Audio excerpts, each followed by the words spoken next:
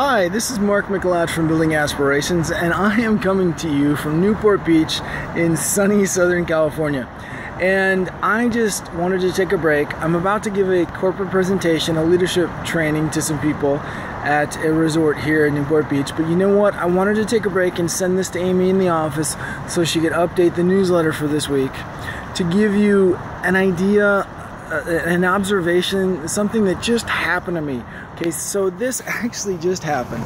So I wanted to share it with you because if you truly understand this, you can really propel your business. I teach in a corporate education program at Cal State University in Long Beach. I teach human resource professionals in how to educate, motivate, and more effectively build the professional development in their staff. And I've been doing this for a number of years, six years. So I've probably trained about 500 people in the six years. And this last cohort had 32 students.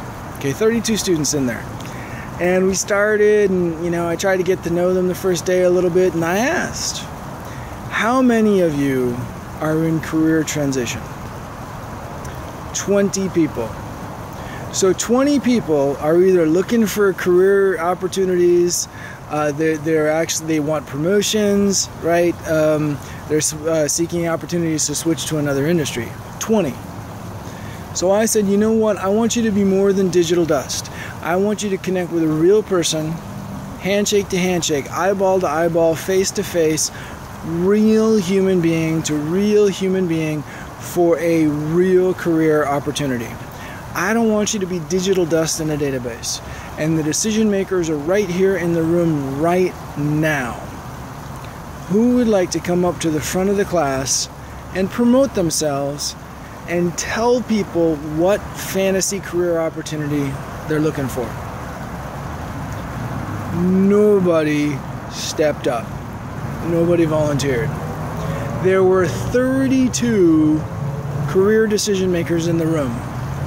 20 people were looking for a career change and nobody volunteered. And you know what? There's another 500 people that I'm already connected to.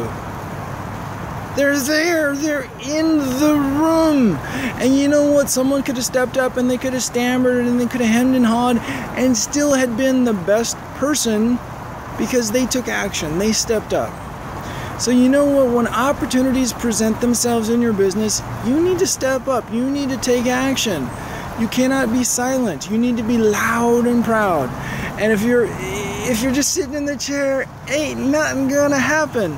Nobody can give you what you want unless you tell them what you want. So take action. And if you're not sure on how to do this, you know what? Just click on the link below or go to buildingaspirations.com forward slash work with Mark to learn about my mentoring program. All right, everybody, enjoy, and I'll see you on the next newsletter. Bye bye for now.